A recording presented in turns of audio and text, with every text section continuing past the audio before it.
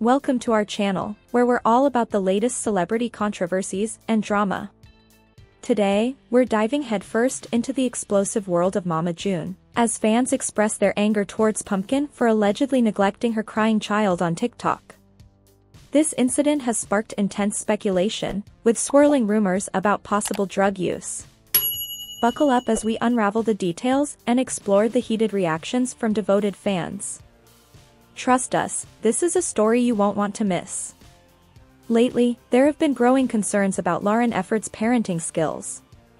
Fans used to adore this WeTV star, especially after her decision to adopt Alana.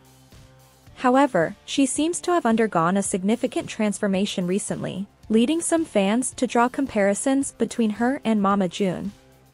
In fact, some even questioned whether she might be using drugs herself. Fans have become particularly worried about her unsettling, wide-eyed gaze. However, the most recent controversy involves an insensitive act that has drawn the ire of her followers. During a live TikTok video, fans noticed something amiss in the background. While setting up her camera, Lauryn's young child Bentley could be seen banging on the door, seemingly in need of assistance. One concerned fan took to Reddit to express their dismay, questioning Lauryn's actions as a mother. The celebrity was heavily criticized for seemingly ignoring her crying child in favor of maintaining her popularity. One Mama June fan directly called her out, saying, Get off your F asterisk asterisk asterisk ing phone and take care of the baby. Others joined in, questioning how a mother could ignore her crying child for the sake of a TikTok livestream. Many voiced their disappointment in Pumpkin's parenting abilities, labeling them as poor. However, it's worth noting that some fans also observed Lauryn's bulging eyes.